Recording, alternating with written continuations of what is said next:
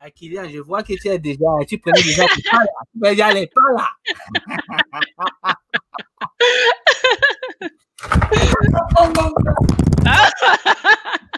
Moi, attention, s'il vous plaît. Attention, là, là, c'est moi maintenant, je voulais danser.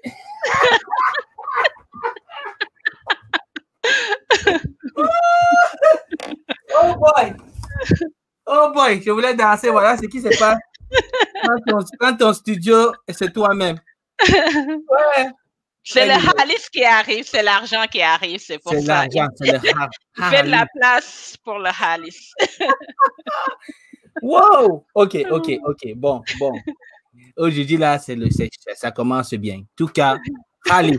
Halis, c'est l'argent. On va, on va parler de l'argent aujourd'hui dans le système, euh, dans le monde, dans le monde chimiste. Bon, bien commencé. Euh, bonsoir à tous. Si vous êtes en France, bon après-midi. Bonsoir. Si vous êtes au Québec, comme nous ici, comme nous ici, bon après-midi. Euh, si vous êtes aux États-Unis, côte Est, bonsoir, bon après-midi. Si vous êtes en Afrique, bonsoir. Bonsoir à tout le monde qui écoute. Nous sommes 10. D'habitude, quand on commence les lives comme ça, on n'est pas à 10, hein, on est souvent à 2, 3. Quand on a vu, et ça veut dire que les gens, quand ils ont vu le titre là, ils ont dit, elles ont dit qu'il faut que je me présente. Parce que la dame, si, c'est le Halis aujourd'hui. en tout cas, bienvenue à tous et à toutes. Si c'est la première fois que vous écoutez notre chaîne, ici, c'est The Life Jog, a.k.a. attends, je mets comme ça, a.k.a. The Life Journey of Growth. Qu'est-ce que ça veut dire en anglais? Ça veut quasiment dire que c'est notre parcours de croissance. C'est notre parcours de croissance, c'est notre chemin qu'on partage avec vous. Et on s'est dit, vous savez quoi? Vu qu'on n'est que deux personnes sur une population immense dans le monde et même une population africaine qui est grandiose, on s'est dit, est-ce que ça ne vaut pas la peine d'inviter des frères et sœurs de la communauté pour vraiment venir partager leur parcours de croissance, leur parcours de vie, pour que les jeunes de demain, ou même nos amis qui veulent aller plus loin dans la vie, tireront des leçons, tireront de la sagesse, des leçons, des vies qui passeront à travers ces chaînes. Donc, comme vous le voyez, aujourd'hui, on a une femme exceptionnelle. OK? Ah, vous avez vu le titre, c'est pour ça que vous êtes 11 au début. D'habitude, on est seulement 2, 3, on se parle, on se parle. Mais vous êtes 11, ça veut dire que au fur et à mesure, le show va vraiment grandir. Donc, ce que je vais vous demander de faire, c'est de partager ce show, partager l'émission d'aujourd'hui, parce que, parce que, parce que, comme Cheikh Diop nous a dit, il faut s'armer des sciences, n'est-ce pas? Il faut s'armer des sciences. Donc là, tous les gens là qui aiment les sciences et qui veulent, qui veulent que la future génération soit armée des sciences, s'il vous plaît, envoyez ce live. Envoyez ce live aux jeunes.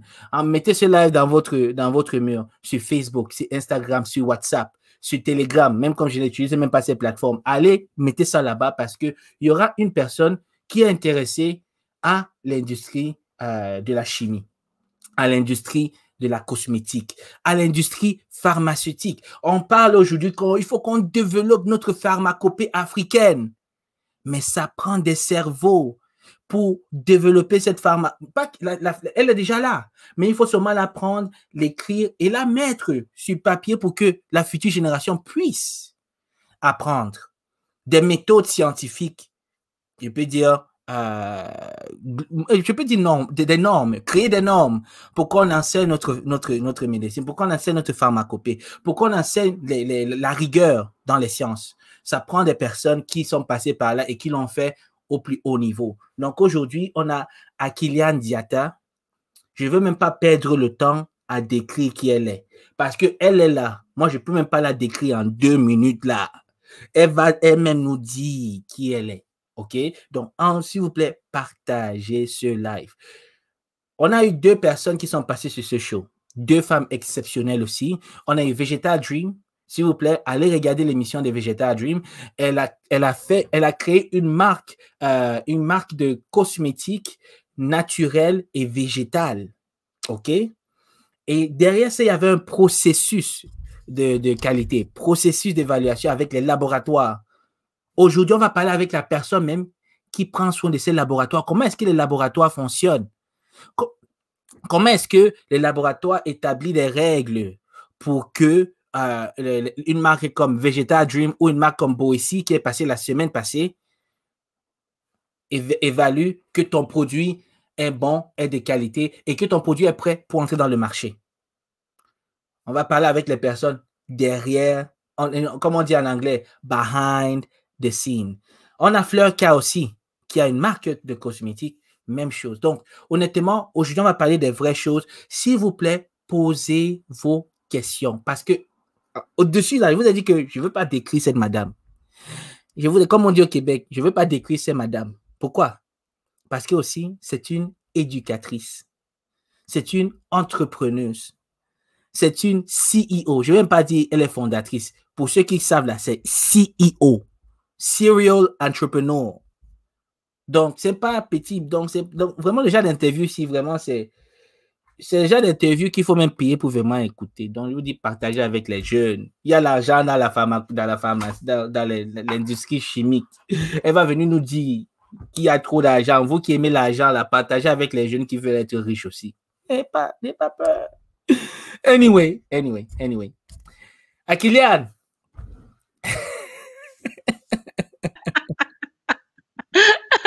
Là, tu m'as mis la pression, là.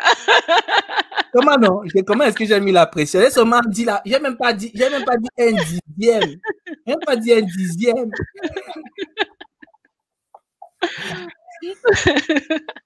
dis-nous alors, dis-nous alors comment tu vas? Oui, ça va, ça va. Merci beaucoup pour euh, l'invitation. Ça me fait vraiment plaisir. C'est super gentil et euh, je dirais ce que vous faites. Moi, j'aurais aimé l'avoir aussi à ma génération. Là. et je trouve que vous faites vraiment un excellent travail et euh, mm-hmm. comme je dis toujours, les gens ont l'impression que ça n'existe pas. Ça existe, mais c'est juste qu'il n'y a pas assez de visibilité.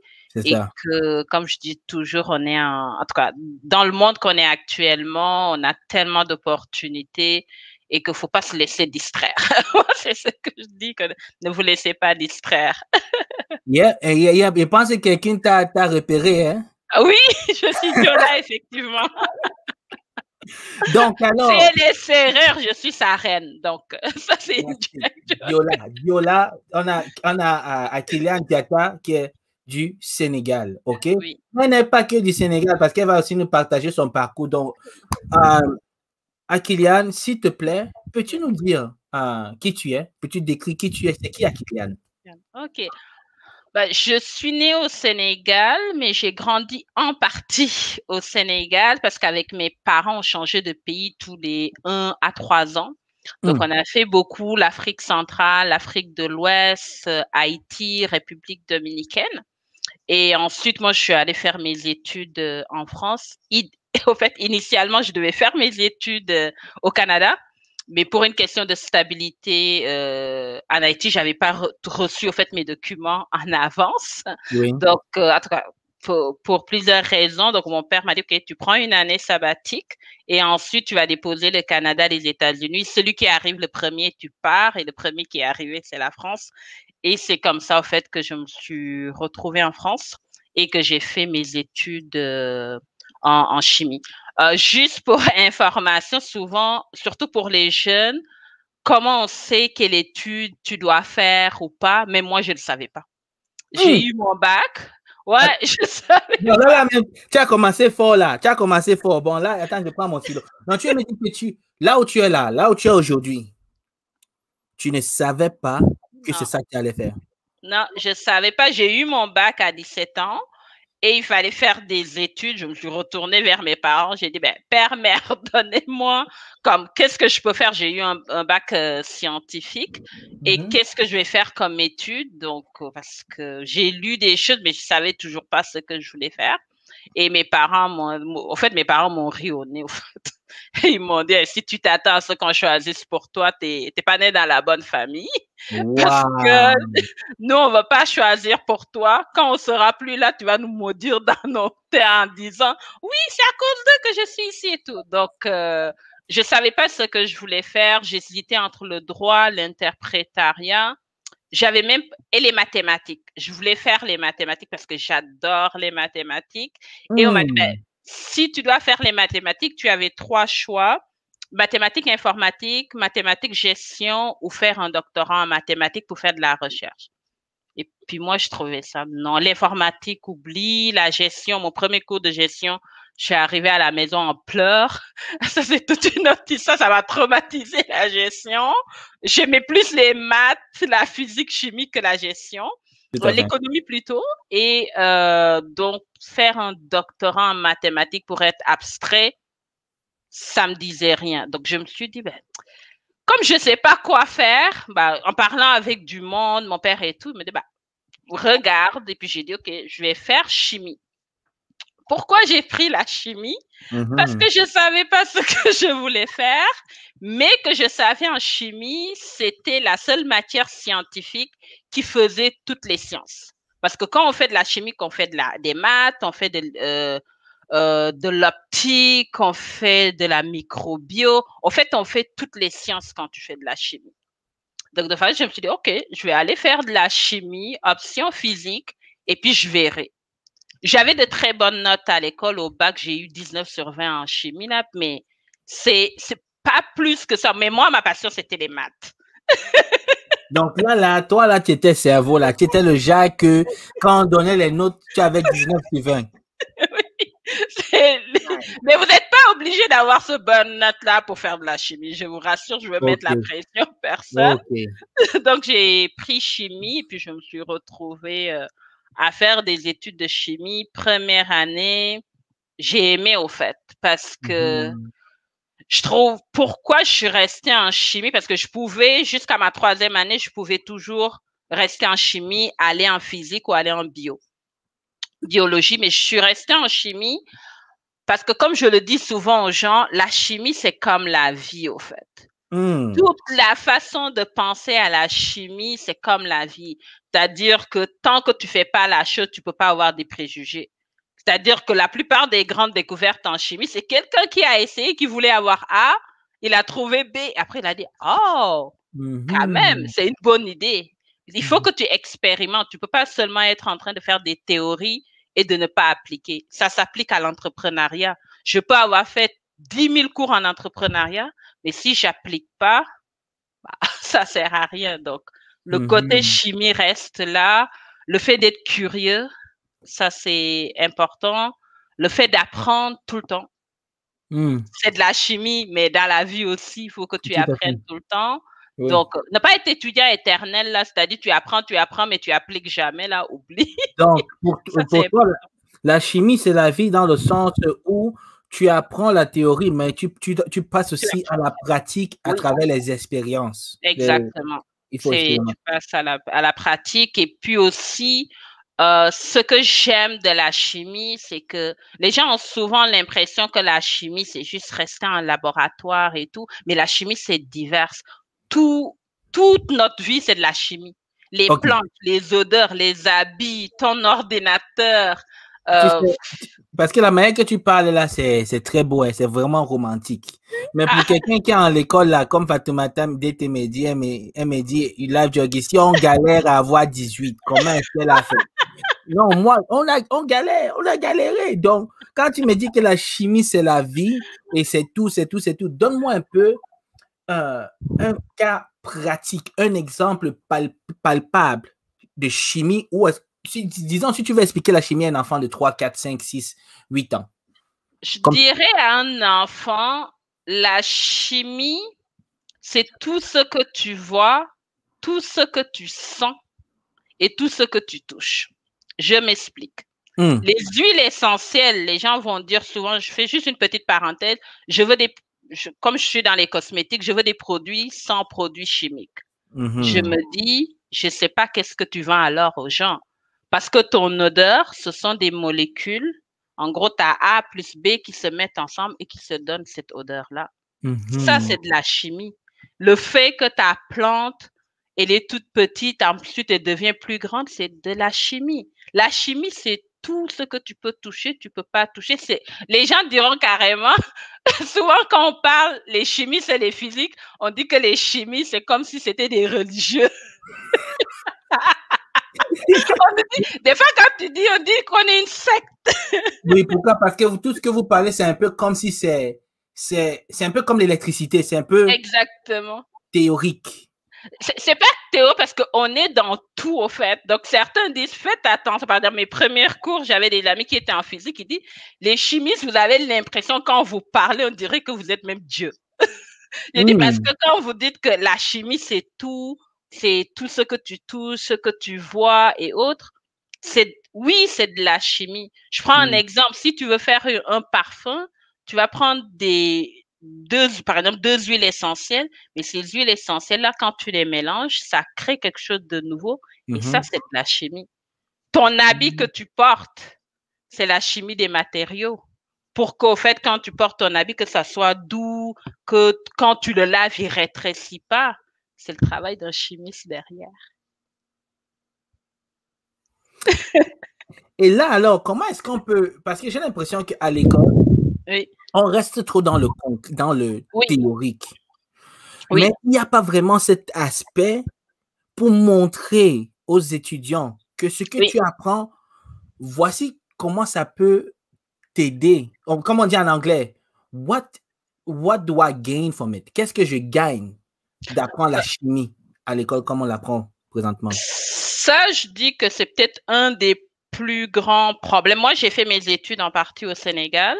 Après, j'ai fait mes études, en tout cas, mes études au lycée, j'ai fait juste une classe au Sénégal. Ensuite, j'ai fait mes études en Haïti euh, pendant quelques années, mais j'étais dans une école euh, française et tout. Mais je dirais que je parle de mon expérience et de ma génération. Donc, si les choses ont changé là, je veux pas qu'on dise oui, c'est pour donner une mauvaise image de la, mais je parle de mon expérience. C'est qu'on faisait de la chimie sans application. Mm-hmm. ça. On était, bon, je dis, je connaissais toutes les théories, mais il n'y avait aucune application. On peut t'expliquer c'est quoi un acide, c'est quoi en base, mais si le jeune lui-même, tu fais pas une expérience, ben, ça reste théorique. Je, et puis, les gens ne sont pas obligés. Je me dis, c'est peut-être la question où les gens sont formés, où les gens manquent de temps. Je prends un exemple. J'ai pas besoin d'avoir beaucoup d'argent pour expliquer à un enfant c'est quoi le pH. C'est celui qui dit si le produit est acide ou base. Je prends un chou rouge que je transforme avec de l'eau, ça me fait un liquide. Le liquide va être rouge-violet. Mais si je mets du citron, le liquide va changer de couleur. Hmm. C'est parce que mon pH va au fait améliorer. Et ainsi de suite. Si tu rajoutes un autre produit, il va devenir vert. Donc, ces changements de couleur, c'est quoi? C'est le changement de ton pH. Hmm. Et c'est pour ça que je dis, je crois pas que c'est compliqué. Je comprends pourquoi des gens vont trouver la chimie compliquée. Parce que ça reste théorique et tu vois pas comment ça se passe. Si je dois expliquer à quelqu'un une émulsion, tu n'as pas besoin d'avoir beaucoup d'équipement. Une mayonnaise, c'est une émulsion. Pourquoi? Tu as, tu as ton œuf qui est liquide, qui a beaucoup de liquide. Oui. Et tu as de l'huile. Pour faire une mayonnaise, tu as besoin d'un œuf et de l'huile. Ou du lait et de l'huile. Il y a ceux qui le font. Mais en mélangeant les deux, l'œuf a ce qu'on appelle la lécithine, qui est un émulsifiant, c'est-à-dire qui permet à l'eau et à l'huile de se mélanger. Donc, si moi, je suis dans un pays où on n'a pas de laboratoire et tout, et que je veux expliquer l'émulsion à un élève, je dis, OK, chacun apporte un œuf et du lait, euh, un œuf et de l'huile. Et pendant le cours, je dis mélangez, tournez, et vous allez voir que l'huile va se mélanger avec ton œuf pour avoir une mayonnaise. Et là, tu viens d'expliquer à l'étudiant c'est quoi une émulsion sans avoir à avoir un grand laboratoire avec des émulsions et autres. Et après, comme je dis, est-ce que c'est parce que la formation des enseignants n'est pas adaptée où les enseignants n'ont même pas le temps pour pouvoir s'asseoir et imaginer toutes ces choses-là et pouvoir le faire avec les étudiants. Ça peut être les deux, hein? Ça peut quasiment être les deux. Parce que moi aussi, j'ai fait la série scientifique et je ne me rappelle pas qu'on ait fait euh, des expériences euh, quand j'étais quand, j'étais dans mon système francophone auparavant. Donc, il n'y avait pas vraiment d'expérience. Donc, et toi alors, une partie de toi auparavant, tu t'es aussi lancé dans l'éducation? Oui, je me suis lancée dans l'éducation. L'éducation, en fait, je suis tombée dedans on va dire très jeune, parce que dans l'école que, que j'étais, euh, au fait, ça a commencé par mes parents. Pour s'assurer qu'on avait étudié nos cours et qu'on comprenait nos cours qu'on répétait. Mon père dit, étudier, c'est pas répéter comme un perroquet. Donc, qu'est-ce qu'il nous Mhm. imposait, c'est que les aînés devaient apprendre quelque chose et l'expliquer aux plus petits. Ça, c'est puissant, ça. Si le petit, et je dis parce qu'on a quand même différentes différences d'âge dans la famille, donc essaie de, de t'es comme au collège et tu essaies d'expliquer des maths à un enfant de 5-6 ans. Hmm. Tu vas lui expliquer la multiplication et tout. Donc, tu- en ce moment-là, ça t'oblige à simplifier ton langage. Parce qu'après, Hmm. le parent va demander au plus jeune, est-ce que tu as compris? Qu'est-ce qu'il vient de t'expliquer? Tout à fait. Donc, de là, tu as cette question d'enseigner. Et quand j'étais au lycée, c'est, pour moi, c'est, s'il y a une école qui m'a marqué, c'était l'école où j'étais au lycée en Haïti. Mhm. Euh, les directeurs, euh, le directeur et la directrice, pour moi, c'est, des modèles euh, de ceux qu'ils ont étudié à l'étranger. Après, ils sont revenus en Haïti, ils ont créé leur école. Nous, à notre génération, qu'est-ce qu'ils faisaient? C'est que vous allez avoir, déjà, vous n'avez pas école tous les jours. Vous avez école quatre jours par semaine, quatre jours par Mhm. semaine. Et le vendredi, ils vous obligent à faire autre chose que des études. Vous allez au musée, vous allez voir des artistes, des peintres, vous regardez des films ou vous allez donner des cours dans une école un peu plus bas. Parce qu'ils se sont rendus compte que c'est bien beau d'avoir de bons diplômes, mais dans le monde de demain, il va falloir que tu saches expliquer les choses de façon simple, que tu Hmm. puisses être à l'aise à prendre la parole. Donc, nous, on avait des cours, les vendredis, aller donner des cours de l'autre côté. Donc, ce qui fait que quand je suis arrivée en France pour payer mes études, euh, je donnais des cours de maths, physique, chimie, au lieu d'aller travailler au McDo. J'ai rien pour ceux qui ont travaillé au McDo. Oui, mais pour moi, c'était, euh, ça faisait du sens oui. Que mes parents m'ont envoyé en France pour étudier, mais après mon premier semestre, j'ai dû négocier avec les parents en disant, vu que maintenant je suis assez adulte pour me retrouver seule en France, je suis assez adulte pour couvrir mes, pro- mes propres dépenses. Et il Bon. fallait négocier avec le père Il fallait négocier pour avoir ton indépendance financière.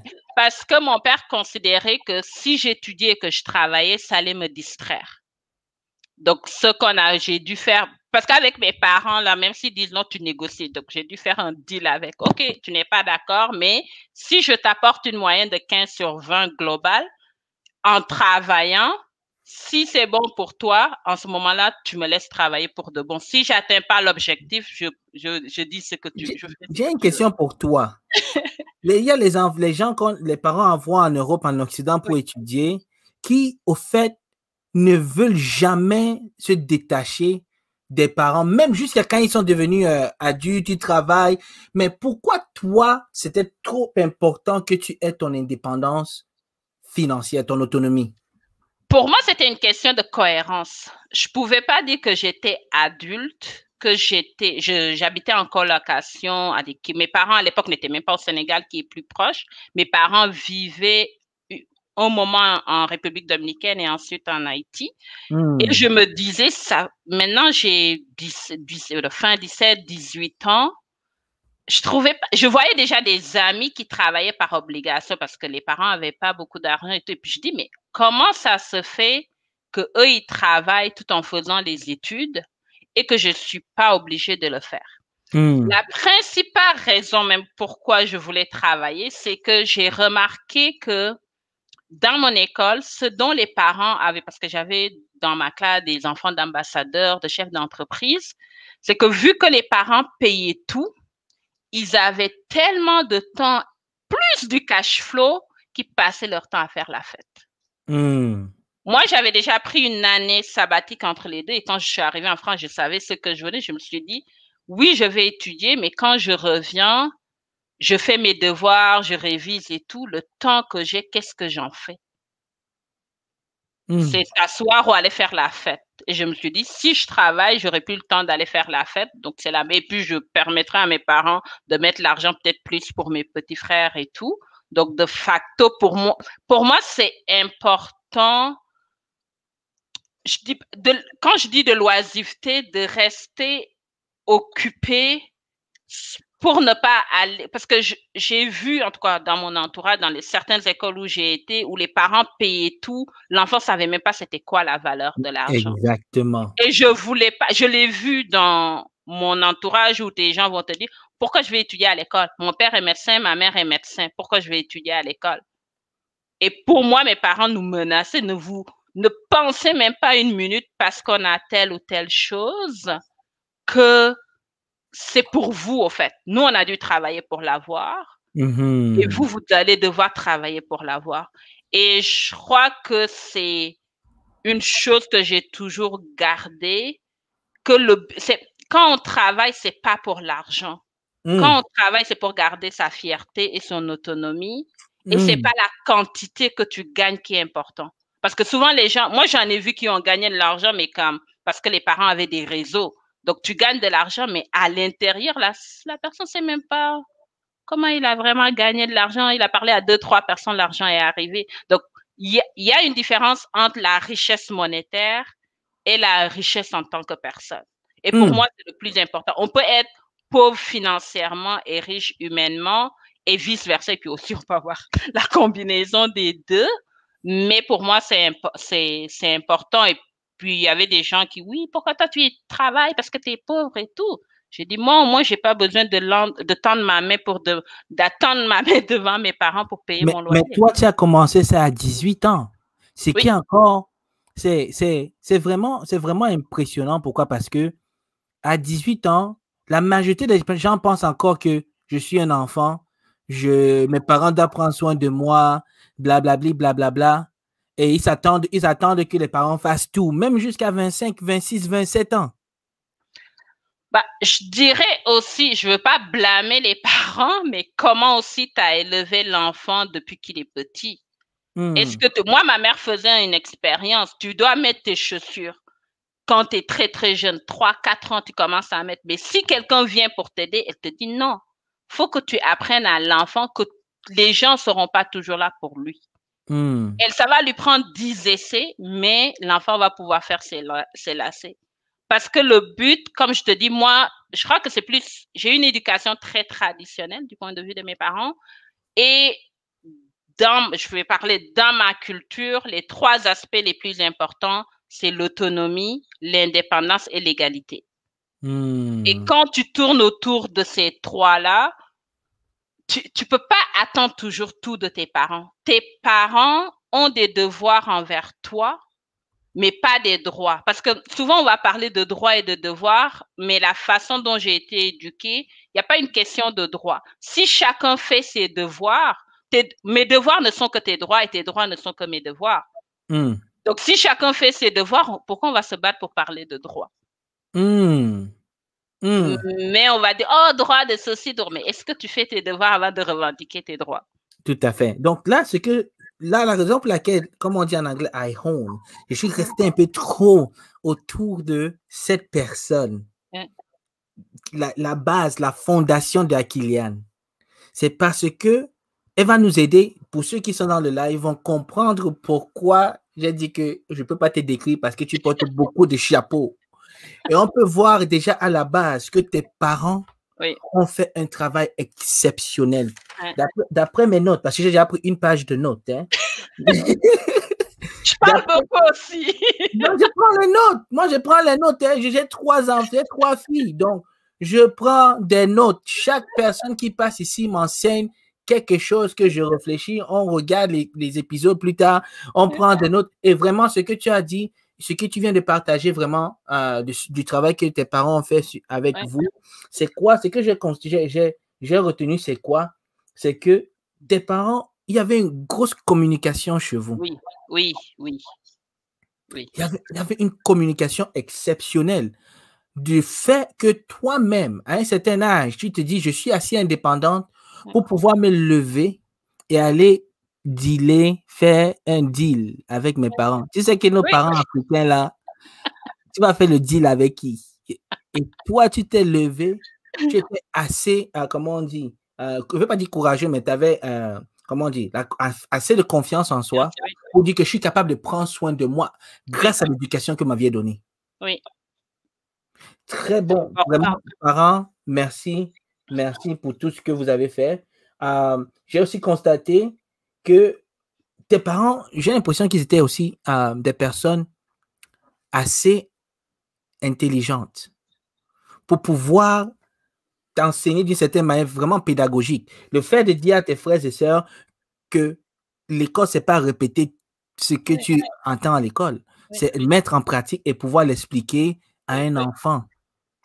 Ça veut dire qu'eux aussi, ils ont fait ce parcours. Est-ce que tes parents, ils avaient des, des, des diplômes, ils étaient ton père ou ta mère, qu'est-ce qu'ils ont fait dans la vie? Ben, grosso modo, euh, disons, mon père a un diplôme euh, d'ingénieur agronome. Il a fait ses pays, euh, ses, ses, études en Europe de l'Est.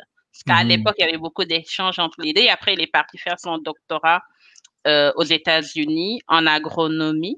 Mhm. Et ma mère, de l'autre côté, moi, ma mère a étudié je crois, elle n'a même pas fini son terminal parce qu'elle aimait l'argent.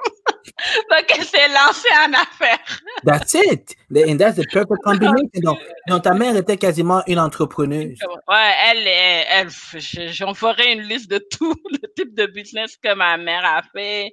Euh, et puis aussi, elle nous aime, surtout moi, elle, parce que je suis quasiment comme l'aînée dans la famille et m'amener avec elle. Donc, il fallait qu'elle fasse quelque chose. Parce que comme je dis aussi, il y a beaucoup de choses traditionnelles que, que les gens considèrent que oui, les, Africains, on est comme ci, comme ça. Moi, je crois aussi qu'on s'est beaucoup éloigné des traditions. Hmm. Moi, dans ma tradition, les hommes et les femmes travaillent.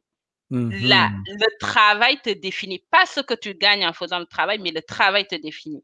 C'est-à-dire hmm. qu'une personne qui travaille pas, parce qu'elle n'a pas trouvé, ou si tu es malade, c'est normal, mais que tu es en bonne santé, tu as t'aimé et tout, que tu travailles pas, bonne chance pour une femme et un homme de se trouver un mari ou autre, parce que c'est perçu comme négatif dans ma culture. Donc, par exemple, on mhm. dit toujours en Afrique, les femmes restent à la maison, les hommes, ça dépend encore des cultures. Dans ma culture, c'est pas le cas. Les femmes travaillent, les hommes travaillent, les chaque et puis c'est complémentaire. Donc, j'ai toujours, ma mère nous a, comme, est restée beaucoup plus à la maison, mais elle avait à côté aussi ses entreprises, ses business, et encore ce on on va pas y rentrer là, mais du fait de, faire, de, poser la femme il y avait une activité quand même, il y avait une activité à côté. Et à travers cette activité, au fait, tu as pu découvrir aussi deux mondes. Tu as découvert un monde où il y a un papa qui, qui travaille, qui est dans le monde, disons, des corporations. Et tu as découvert une maman aussi qui est vraiment restée, euh, qui a gardé quasiment l'équilibre à la maison avec, avec aussi une activité à côté et où, tu as quasiment pris part. Donc, ce qui veut dire que quand je regarde ta personne, et tout à l'heure, avant même de commencer le live, tu me disais encore cette chose que tu as fait. Je, me, je mettais souvent les mains sur la tête. Je me dis, mais comment, où est-ce que tu trouves, même, comment on dit, de mettre l'espace dans le cerveau pour pouvoir faire tout ce que tu fais? OK? Comment? Je dirais une chose. OK. Je m'excuse en avance avant de le dire, mais je vais le dire pareil chez les franco, je dis toujours une langue définit la façon dont tu penses. Mm-hmm. Chez nous, les francophones, je m'y inclus, c'est que le français, pour dire une chose, tu as 10 000 choses pour dire la même chose, avec toutes les nuances à l'intérieur. Ce caractère-là, c'est une très belle langue. Ce caractère-là, on a tendance à le garder comme mindset. Mm. Quand il y a un problème, on va faire tous les débats avec des mots qu'il te faut le dictionnaire pour comprendre même la signification des mots. Mais à la fin de la journée, rien n'est fait. Ah, ça, c'est dur. Parce que je crois que plus que les anglophones, les gens ont tendance à dire que j'idéalise les anglophones, c'est que en tant que francophone, on est très axé sur l'apparence, comment on est perçu, comment l'image qu'on renvoie, il faut bien parler. Un anglophone va te dire, oh, je suis bilingue en, français et anglais, mais si tu alignes deux mots en français, tu te dis, hé, c'est lui le bilingue. Parce que moi, j'ai travaillé avec des entreprises, en, je faisais la navette Montréal-Toronto, et ils disaient, oui, euh, tu es francophone, il y a quelqu'un dans notre service qui est francophone qui parle français. Le gars peut juste s'aligner deux mots. Mais la personne, il a confiance que lui, il est bilingue. Mhm. Tout à fait. Tandis que les, les francophones, on va souvent, même si on parle attends, je complète, attends, je complète. Les francophones doivent avoir un doctorat en français pour pouvoir, pour, pour, pour, dire que je suis bilingue, ils doivent avoir un doctorat en anglais. Exact. C'est ça la chose. La Et on connaît toute la grammaire anglaise. On, connaît l'histoire qui a inventé l'anglais. On veut parler la grammaire. On va, on va chercher le grand-père, même on met dedans. Donc, honnêtement, c'est. Oui, vas-y, continue. donc, je dis juste que c'est peut-être aussi un de nos. Je vais dire. Je vais utiliser le mot obstacle, mais je, je trouve que c'est trop fort. Mais je dirais plus, il faut qu'on change notre mindset pour, c'est même pas changer ton mindset. À un moment donné, tu peux pas parler, parler, parler, prendre aucune décision. Hmm. J'ai une idée d'une entreprise, mais si j'applique pas, comment je vais savoir si ça fonctionne ou pas? C'est pour ça que je ramène toujours à la chimie. À la chimie, je peux avoir la meilleure des formules, mais si je sais pas, je peux pas savoir si ça fonctionne ou pas. Donc, il faut qu'on a, comme on dit, un overthinking. On fait beaucoup de ça dans, chez les francophones. Moi, je le vois quand je fais des débats avec les francophones. Des fois, mais je dis, vous savez quoi, j'ai pas le temps, je vous laisse. We have to agree to disagree. On doit être d'accord de ne pas être d'accord. Juste pour fermer et avancer parce que sinon, on peut passer des heures à faire des débats. Et, et je crois c'est d'apporter ce pragmatisme. Je dis pas que tout est rose chez les anglophones, mais il faut à un moment donné qu'on arrête de comme faire des débats, des débats, des débats, des débats, des débats, et de ne jamais prendre une action à la fin de la journée. Moi, mes parents, on faisait des débats à la maison. ils allaient nous parler d'un sujet, ils créaient des débats, mais tu as comme cinq minutes là pour défendre ton idée. Mais c'est chronométrer les cinq minutes pour que hmm. tu puisses aller à l'avant et après on te dit, OK, c'est ce que tu veux, mais qu'est-ce que tu fais après? Et je crois hmm. que ça doit commencer même jeune. Oui pour les adultes, même si vous ne le faites pas pour vous, en tout cas pour ceux qui ont des enfants ou veulent en avoir, ça serait bien d'être assez pragmatique dans ce, dans ce domaine-là. De ne pas trop, même si c'est pas parfait, lancez-vous et vous allez vous ajuster au fur et à mesure. Mm-hmm. C'est comme l'ingénierie, c'est pareil, il faut que tu t'ajustes. C'est ça. Donc, tu, quand tu, tu, as une idée, tu passes à l'expérience, tu essayes, ça échoue, tu t'ajustes, ça réussit, même si ça réussit, tu traques, tu traques ce que tu es en train de faire, après tu t'ajustes. Exactement. Pour, demain améliorer euh, ton processus. Maintenant, maintenant tu as parlé, tu as, tu as dit un, mot très, très, très, très clé. Pragmatisme. Oui. Donc, toi, tu as quasiment grandi dans le système francophone. Tu as été éduqué dans le système francophone tu as commencé, euh, comment on dit, ton chemin, ton parcours dans le système francophone, mais à un certain moment donné, qu'est-ce qui t'a sorti de ce système de France pour t'amener dans ce monde ici, au Québec?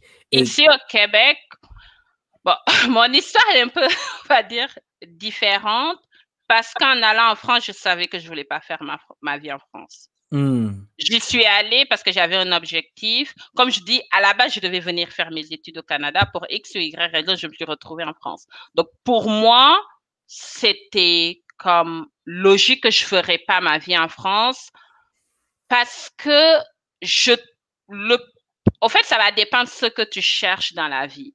Pour moi, si je voulais réaliser celui peut-être d'avoir une entreprise ou autre, je trouve que la, le système, on va dire, réglementaire est trop lourd, trop de paperasse et autres, et que je vais mettre beaucoup d'énergie à me battre pour passer à travers, tandis qu'en économisant cette énergie-là, je peux le mettre en Amérique du Nord et avancer plus vite. Hmm. Ça, c'était comme ma conception du monde. Comme je dis, il faut choisir ses batailles. Je ne dis Mhm. pas que tu peux pas réussir en, en France. Moi, j'ai mon frère qui est en France, qui lui ouvre ses entreprises en France. J'ai mon autre frère qui lui est dans tout ce qui est biostatistique, AI et autres, mais il est en France, il travaille pour euh, la santé publique actuellement. Mais pour moi, la France ne correspondait pas à ce que je veux À ta personnalité. et à ma per- personnalité Et tes ambitions. et à tes ambitions. Pour pouvoir changer le monde, moi, je, pas changer le monde, mais changer sa vie, il faut éviter de, de, Parce que souvent, quand on est dans un pays, on a l'impression que tout se passe dans le pays et nos frontières, on se met des frontières mentales pour le pays. Moi, j'ai des amis qui ont décidé, on a fait nos études en France, de repartir en Afrique. Et je te dis, ils ont, ils ont même peut-être même une meilleure vie que moi. Mais Mhm. c'est ce qui leur correspondait parce qu'il fallait être proche de la famille et tout. Et puis moi, oui, mais la famille, on se parle chaque semaine et tout. Mais il faut, Mhm. un, que tu te connaisses et d'éviter d'avoir des barrières mentales. Je peux être en Afrique, moi je le vois avec des marques africaines, elles vont dire, OK, en- dans les cosmétiques, elles vont créer leurs produits. Oui, mais c'est pour vendre en Afrique. J'ai dit, mais pourquoi personne ne dit, moi je crée une marque africaine, mais ma cible est aux États-Unis, en France? Pourquoi en Europe, les gens vont créer leur marque pour vendre en Afrique, aux États-Unis pour vendre en Afrique? Et je connais très peu de marques, j'en connais quelques-unes en anglophone, mais francophone, de toujours, oh, je vais faire mon produit, je vais le vendre uniquement au Sénégal ou dans la sous-région. Mais pourquoi tu vises pas les États-Unis directement? Pourquoi tu vises pas la France directement? En plus, tu peux le vendre plus cher Exactement. et avoir plus d'argent. réinjecter ce, ce capital pour grandir, pour grandir ton économie, pour grandir euh, ton industrie même, créer même une industrie. Donc ça. ça, c'est une chose. Et oui, c'est peut-être parce que je ne sais pas comment fonctionne la France, comment fonctionnent les États-Unis, mais les ambassades sont là pour ça. Mhm. Va à l'ambassade de France, voici, j'ai un projet et j'aimerais avoir telle ou telle chose. Comment ça fonctionne? Est-ce qu'il y a des échanges? Souvent, les ambassades ont des échanges entre les pays ou Mhm. même au niveau des ministères. Euh, moi, je peux parler du, du Sénégal, il y a des organismes qui aident les gens à l'exportation. Mhm. Les gens vont me dire, moi j'ai une amie qui, elle, elle a lancé son entreprise euh, et je rigole pas, elle a lancé avec 100 dollars une entreprise. Parce qu'il y a aussi une certaine conception, parce que moi je dis toujours, les on a dit, on a dit, il faut souvent s'en méfier. Si tu as un doute, demande à quelqu'un qui a fait ça.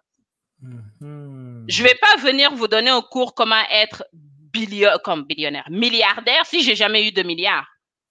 Est-ce que tu vas sûr quelqu'un qui n'a jamais eu de milliards, il va te donner des cours comment être milliardaire? Il n'a que la théorie, mais pas la pratique. Pas la pratique. Et je dis la génération africaine, on a beaucoup de chance parce qu'on a les réseaux sociaux que peut-être nos parents n'avaient pas. Si tu veux Mhm. faire quelque chose, va sur LinkedIn. Trouve du monde sur LinkedIn qui ont le profil que tu veux faire et pose-leur leur- des questions. Tout ce que tu perds, c'est qu'ils ne te répondent pas. Et si tu poses des questions sur 20, 30 personnes, il y aura peut-être une ou deux personnes. Tu n'as pas besoin de plus, tu as juste besoin d'une personne. Donc, Merci c'est, je trouve que c'est important comme de, d'éviter d'attendre toujours que les gens, moi je dis tout, on a comme un syndrome un peu dans la communauté, Yeah. d'attendre que quelqu'un vienne nous sauver. Personne ne va venir nous sauver parce que chacun a ses propres problèmes. Mhm. Donc, Mhm. aller sur les réseaux sociaux au lieu de voir la vie de ta voisine, prends cinq minutes, va sur LinkedIn, trouve quelqu'un qui veut faire ce que, qui fait ce que tu veux faire, et puis pose-lui la question. Beautiful. Beautiful, beautiful. Moi, je l'ai fait dans le passé. là. donc, donc là, là, ça va nous amener. mais J'ai dit, chaque fois que tu dis quelque chose, ça nous transitionne dans une autre phase. Donc là, tu as quitté la France parce que tu as vu que la France ne correspondait pas à ton profil et tes ambitions. OK? Oui. Tu t'es lancé, tu t'es lancé dans euh, en aventure. On ne peut pas dire en aventure. Tu savais où tu allais. Tu savais Oui. que tu allais en Amérique du Nord parce que le- le- la mentalité est différente. Et que toi, tu es un go-getter parce qu'à partir de l'âge de 17 ans déjà, tu réclamais, tu réclamais ton indépendance financière alors que papa et maman voulaient tout payer. Tu as dit que non, non, non, non, non, laissez-moi, je vais prendre mon indépendance financière et je vais me lancer. Et là, alors, tu te dis, je vais me lancer en, euh, euh, au Canada. Oui. On ne va pas parler de l'immigration parce qu'on sait que c'est un, parcours que tout le monde traverse. Mais là, maintenant, tu te, tu te, tu te mets, tu, tu viens au Canada. Est-ce que toi, alors, immédiatement, tu lances ta compagnie? Non. OK. Quand j'ai arrivé au Canada, moi, dans ma tête, comme j'ai travaillé un peu dans la chimie, dans une compagnie de chimie, après j'ai dit, oh, je veux plus de chimie, c'est fini, je veux une autre vie. Et. Oui, oui, je sais pas ce qui m'est passé par la tête, que je voulais plus de chimie du tout et que je voulais aller peut-être plus pour- vers le, le marketing ou autre chose. Et au fait, pourquoi j'ai j'ai lancé l'entreprise? À la base, je voulais créer ma propre marque de cosmétiques. Hmm. Et après, je me suis dit, non, il y a quelque chose qui manque. Je peux le faire, mais il y a quelque chose qui manque. Mais j'arrivais pas à voir c'était quoi. Et au fait, c'est suite à une rencontre avec une fille qui cherchait, euh, qui, qui, voulait lancer son entreprise en cosmétique, mais qui savait pas comment faire. Et puis moi, j'ai la, la, le côté chimie, j'ai le côté, le côté production et le côté qualité. Donc, j'ai fait, au fait, et puis distribution. Donc, j'ai fait toute la chaîne. The vertical, vertical integration, basically. Exactement. Je me suis rendu compte que toutes les expériences que j'ai eues dans la vie étaient tout ce qu'on a besoin pour une entreprise. J'ai fait service à la clientèle, j'ai fait production, j'ai fait vente, j'ai fait packaging. Quand, quand j'étais étudiante, je, bah, quand je travaillais, je faisais ça.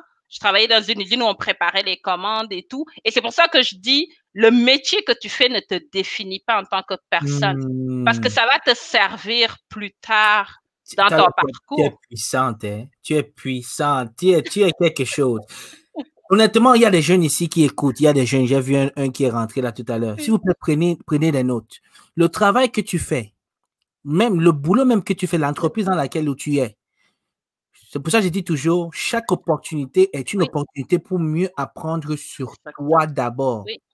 Qu'est-ce que toi tu vas faire là-bas? Regarde, qu'est-ce que toi tu en tires? Qu'est-ce que tu en tires? C'est que tu te mets dans un boulot et tu te dis chaque jour, qu'est-ce que moi je vais apprendre de ce boulot chaque jour que tu as cette opportunité? Et ne restez pas à votre place parce que tu peux être au service à la clientèle, mais tu es par exemple euh, intéressé par la vente, va voir du monde qui sont en vente et mange avec eux à midi, puis ils vont t'apprendre des choses. Moi, je le fais toujours dans chaque entreprise où je travaillais. Peu importe, j'ai travaillé au service à la clientèle, mais j'allais toujours parler à d'autres qui font autre chose que moi. Et c'est là qu'ils vont m'apprendre. Et puis les gens aiment en fait, les gens aiment, ils, ils, aiment se vanter. Ils aiment se vanter. Ils aiment dire non, non, on connaît déjà. C'est pour ça que je veux qu'il n'y a pas que c'est moi ce qui dit. Il faut les dire aux jeunes là. Les gens aiment parler et vanter ce qu'ils font. Exactement. Ils vont dire, oh, les gens vont pas. Non, la majorité des gens, ça leur fait plaisir de partager ce qu'ils ont vécu, ce qu'ils ont vécu, ce mmh. qu'ils savent. Et puis des fois, c'est juste une petite chose. Juste une petite chose que la hmm. personne soit jeune, ce n'est pas une question d'âge. Et donc, bon, bref, pour aller très vite, donc j'ai commencé à aider les entreprises cosmétiques et ensuite je me suis rendu compte que j'ai aussi mon expérience en pharma parce que j'ai fait énormément de qualité en pharmaceutique. Et euh, j'ai aussi beaucoup travaillé dans ce qui est risque industriel. Donc, c'est-à-dire les hmm. risques d'explosion, d'inondation, de pollution, de sécurité, tout ça. Parce qu'en chimie, tu, tu, tu, es formé à ça. Donc, on a un des, une des entreprises où je oui, travaille. C'est vrai, c'est vrai. En chimie, quand tu regardes quasiment chaque produit, même en construction, il y a toujours une feuille, la MDS sheet, de safety, de safety data sheet. Dans cette safety data sheet, il y a, des, il y a différents, euh, comment dire, des critères. Euh, et ces critères sont écrits par sans, par les chimistes. Ah, la chimie, c'est partout. Et on est partout. C'est pas. C'est maintenant que je vois. C'est un peu comme la biotechnologie dont on a parlé tout récemment. Biotechnologie, biochimie, chimie. Vous êtes partout alors dans l'aliment, dans les aliments, l'alimentaire, la Ok. On est partout, en fait. Après, c'est tu peux choisir d'aller te spécialiser. Par exemple, moi, j'ai travaillé en agroalimentaire, que fabrication de produits de conserve, légumes, fruits de conserve, euh, pharmaceutique aussi, donc tout ce qui est médicaments. Donc ensuite, je me suis lancée au fait comme euh, consultante pour mm-hmm. les entreprises euh, pharmaceutiques. C'est notamment, par exemple, pour, au niveau du Canada, chaque deux ans, tu as une inspection de Santé Canada. Oui. Qui te donne une licence pour continuer ou pas tes activités. Et Santé Canada, pour des questions de qualité ou autres, peut te retirer cette licence. Tout à fait. Et dans ce cas-là, tu es dans de beaux draps. Dans de beaux draps, et c'est le cauchemar de toute entreprise. Et puis, une des mmh entreprises pour lesquelles je travaillais, il y avait eu cette question-là. Donc, moi, j'étais là pour aider leur euh, équipe de qualité. J'ai commencé avec, j'avais d'autres entreprises pharma, mais il y a des entreprises où je suis venue pour trois mois. Et je suis restée quatre ans. Parce que quand je finissais un projet, les gens se parlaient les gens disent, oh, moi, j'ai un projet à lancer. Ils me disent, oh, au fait, tu devrais travailler avec Akilian parce qu'elle est efficace dans ce qu'elle fait pour t'aider. Donc, je me retrouvais à travailler dans un autre département. Donc, j'ai quelques clients comme ça que je rentre pour un mois, deux mois, trois mois, puis je reste des années chez eux. Parce que quand je finis, je dis, OK, je dis à tout le monde, au revoir, à la, comme à la prochaine. Et là, comme, il y a un manager qui m'appelle, qui me dit, au fait, j'ai parlé avec telle ou telle personne. Des fois, c'est des gens que je connais même pas. Qui Hmm. vont me recommander. Ça, c'est, c'est quelque chose que moi, ma part. J'ai deux questions pour toi. J'ai deux questions pour toi. La première, la première question, c'est, je ne vais pas dire culot, mais quelle audace de te lancer dans le, l'entrepreneuriat, être consultante. Oui. Tu t'es levé parce que c'est comme, tu viens dans un nouveau monde. Ça, c'est le Canada, c'est un nouveau monde, c'est un nouveau pays. Mais tu te dis, je vais me lancer et je vais devenir consultante dans pharmaceutique, euh, cosmétique. Le, clic là, c'est quoi? Comme je te, je dis toujours, si tu essaies pas, t'as quoi à perdre? Hmm. Si tu te lances en consultante et que ça fonctionne pas, Tu sauras au moins pourquoi ça n'a pas fonctionné. Et de Mhm. deux, tu vas te préparer pour qu'au prochain lancement, ça fonctionne.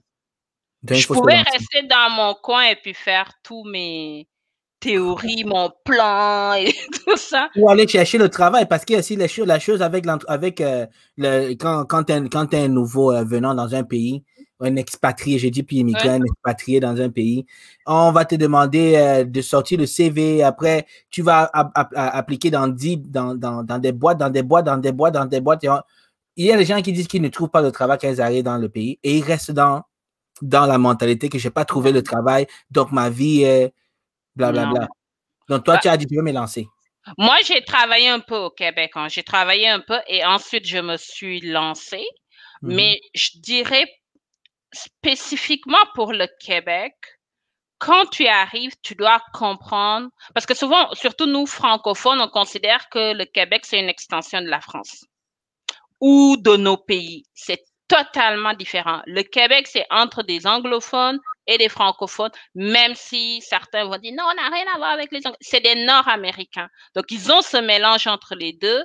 Et quand tu arrives quelque part, il faut que tu comprennes comment les gens fonctionnent. Je vais pas fonctionner de la même façon si j'arrive en France versus le, euh, le Québec versus si je vais au Sénégal, si je vais dans un pays du Moyen-Orient. Il faut que tu comprennes comment fonctionne le pays et surtout, je dirais, le plus important, c'est quoi l'histoire du pays. Hmm. Et ça va expliquer aussi le comportement des gens. Par exemple, au Mhm. Québec, la compétence, c'est important. Je ne vais pas dire le contraire, mais le plus important, c'est est-ce que je peux te faire confiance? Mhm. Et si tu comprends pas que le premier, la première chose, c'est est-ce que je peux te faire confiance? Et souvent, les immigrants vont arriver ici, on va leur demander c'est quoi ton expérience québécoise? C'est quoi ton expérience? C'est quoi tes référents? Quand tu arrives et qu'on accepte ton dossier, c'est de dire, OK, donne-moi tes références. Ce que dans d'autres pays vont moins le faire, bah, tu sais faire ton travail, on t'embauche, tu commandes dans deux, trois jours. En tout cas, moi, j'ai des amis qui sont dans la partie anglophone, c'était rapide. Tu mets ton CV, tu vas en entretien, vous parlez, ils te posent des questions, c'est bon, ils te disent, est-ce que tu peux commencer demain ou après-demain? Yeah, that's it. That's how we do it. Ici, ils vont demander des références, vérifier parce que c'est une question de confiance. Est-ce que je peux te faire confiance ou pas? Donc, quand toi, tu arrives et tu passes ta journée à envoyer des CV et que les gens ne te répondent pas, tu vas dire, non, mais ici, ils, ils nous aiment pas. Il peut y arriver des gens qui vous aiment pas. Je ne veux pas dire que tout le monde est gentil, tout le monde il est beau et tout le Mhm. monde n'est pas mauvais non plus. Donc, Mhm. quand tu arrives au Québec, va te chercher, va savoir, un, c'est quel domaine tu veux travailler et va te chercher un réseau. Quand je te dis Hmm. pourquoi j'ai eu des contrats, parce que je dis pas parce que j'ai un réseau, mais des gens me recommandaient.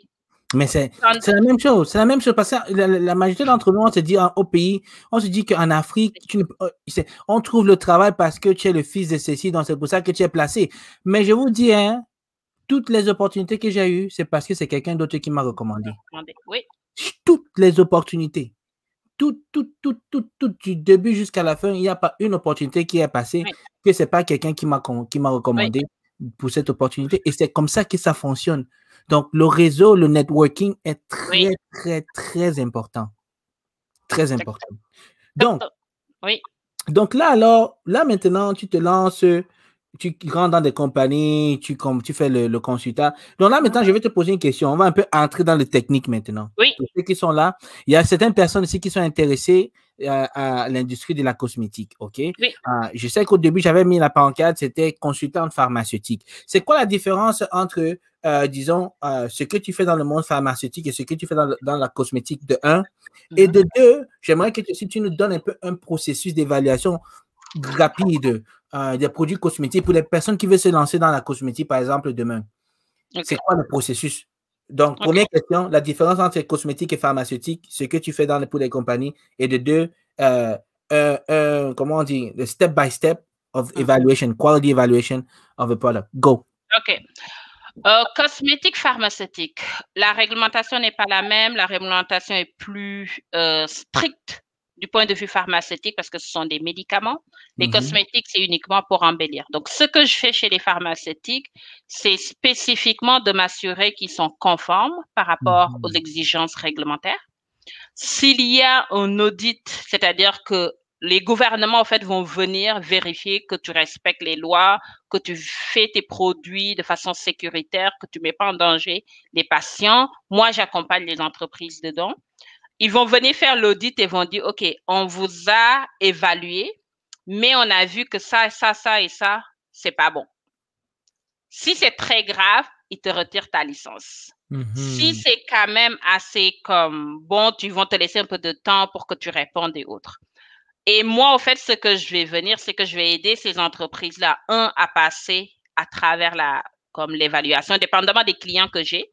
Les, comme par exemple, quand Santé Canada arrive, comment parler avec Santé Canada, quand ils posent des questions, pouvoir bien répondre, ne pas parler pour parler et créer des problèmes là où il n'y en a pas. Euh, quand ils vont demander la documentation, euh, je vais m'assurer. Puis, on peut, tu peux parler avec, voir challenge. Euh, si tu n'es pas d'accord de le faire. Mhm. Et quand ils vont venir préparer vraiment l'entreprise à, à passer à travers les évaluations des autorités. Mhm. Pour certains de mes clients, je m'assure euh, aussi de tout ce qui est stabilité du produit. C'est-à-dire, Mhm. ils ont des, des, des départements qui s'occupent de ça, que le produit ne va pas être, euh, va garder sa qualité tout au long de sa vie. Donc ça, c'est comme un des, ça reste de la qualité. Donc c'est ce que euh, j'aide les entreprises parce que ça va dépendre du besoin de chaque entreprise. D'autres, ça leur permet d'avoir la licence de Santé Canada. D'autres, parce qu'ils ont un problème, je dois venir les aider à régler le problème. Euh, D'autres, parce qu'au fait, ils ont un problème, mais ils savent pas comment le régler, notamment en qualité. Donc, je vais venir mettre en place des processus pour les aider. Mhm. Les cosmétiques, je fais trois choses. Un, de créer des formules pour certaines clientes. La personne vient, moi, je veux pas savoir comment le produit est fabriqué. Ah, Tout ça trop compliqué pour moi. Juste me donner un produit qui fonctionne, c'est tout ce que je veux et puis je vais le fabriquer. Donc, en ce moment-là, pour certaines marques, je crée les formules, je crée le concept, toute la ligne, comment utiliser les produits, s'assurer que les produits fonctionnent ensemble et que les produits ne vont pas se, manger entre eux.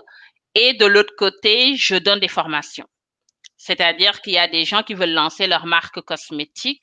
Ils savent pas par où commencer, comment créer le produit et autres. Donc, moi, je les accompagne de l'idée jusqu'à la mise en marché du produit sur le marché. Mhm. Donc, ça, en fait, c'est comme notre site général avec les différents, euh, les différents aspects. La chose à retenir entre les cosmétiques et les pharmaceutiques, les deux ont besoin de main-d'œuvre qualifiée. Donc, quand je dis de main-d'œuvre qualifiée, ça peut être un opérateur. Les opérateurs gagnent très bien leur vie, en tout cas, gagnent bien leur vie dans le domaine des, euh, des pharmaceutiques notamment. Attends un peu une seconde. Quand tu dis gagne bien le village, est-ce que tu peux nous donner un peu, sans dire les, les chiffres, est-ce que tu peux nous donner un peu combien là?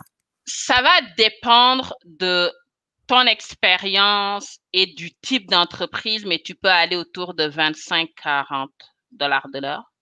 Et je vous dis, vous n'avez pas besoin de faire de grosses études. Les Hmm. opérateurs, c'est quoi? C'est ceux qui mélangent les produits, ceux qui pèsent les produits, ce genre de choses. Donc, il va falloir juste avoir une petite formation en bonne pratique de fabrication. Mhm. Pour des postes un peu plus, on va dire, qui demandent un peu plus d'élevé, le secteur pharmaceutique est un des secteurs qui paye le plus. Mmh.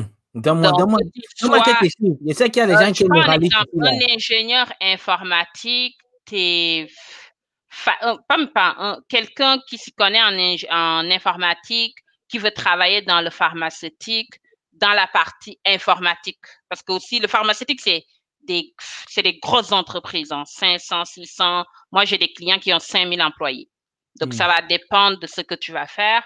Dans le cas informatique, je vous dirais, un domaine où tu chômeras pas, c'est l'informatique dans le pharmaceutique. On est autour, tu peux facilement être autour de 150 000. 150 000 dollars canadiens.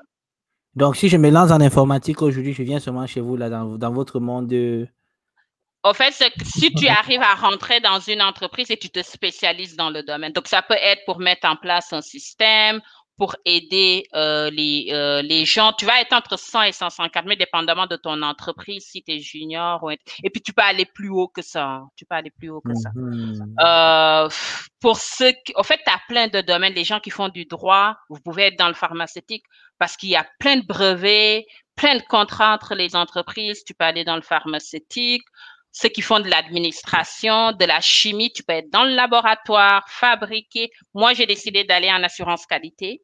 Donc, mhm. c'est-à-dire, c'est ce qui s'assure que le produit, en fait, euh, le contrôle qualité s'assure que le produit est conforme avec les tests. Mhm. L'assurance qualité, c'est de s'assurer que tu vas pas mettre des produits sur le marché qui soient dangereux et autres. Ah, et la conformité, lui, va s'assurer que tu respectes les lois. Donc, tu as les trois secteurs. Le contrôle qualité, assurance qualité et contrôle. conformité. Conformité, ça, c'est. Dans, dans, dans, votre domaine, vous avez quasiment séparé ça en trois domaines. Oui, oui. Wow. C'est important. C'est important.